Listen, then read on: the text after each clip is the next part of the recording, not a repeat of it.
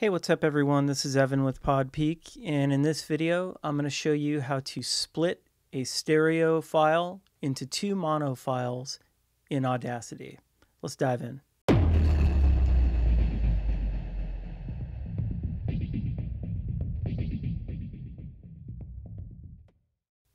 All right, so I'm looking at a blank Audacity session right here. Uh, I recently recorded an interview over the internet using CleanFeed for my podcast.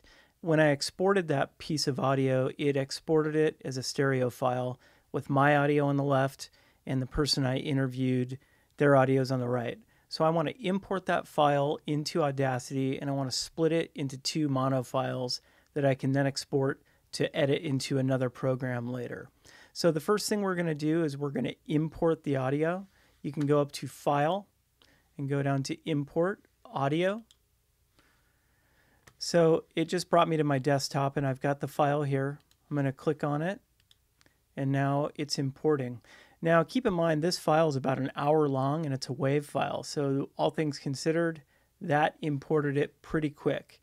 So I'm looking at the stereo file here and the first thing I want to do is just go under here, under the name of the file and click this. And I'm going to scroll down to split into stereo track.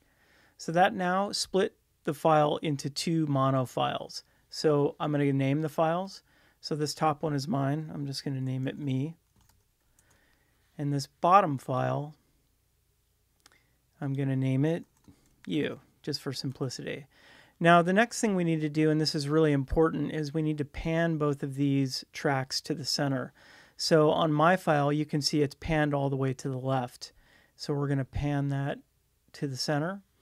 And then the person I interviewed, they are panned all the way to the right. So we're going to pan that to the center.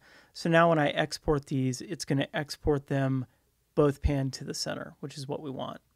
So now we're going to export. So go under File, scroll down to Export, and go down here to Export Multiple. And what this is going to do is it's going to export these files separately. I'm going to click there. Um, I'm going to uh, create a folder on my desktop. So we'll just call this split files. And we're going to export these as WAV 16-bit. And under name files, we're going to export them using the label track name. So hit export. You can just hit OK. We don't need to fill in this metadata.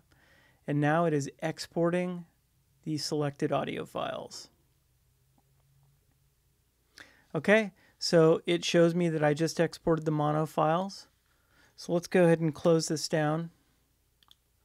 And now on my desktop, in the split files folder, we've got two mono files that are ready to import into another digital audio workstation for editing. All right, I hope you uh, learned something from this tutorial. If you have any comments, leave them below and make sure and like and subscribe my channel and we'll talk to you soon. Peace out.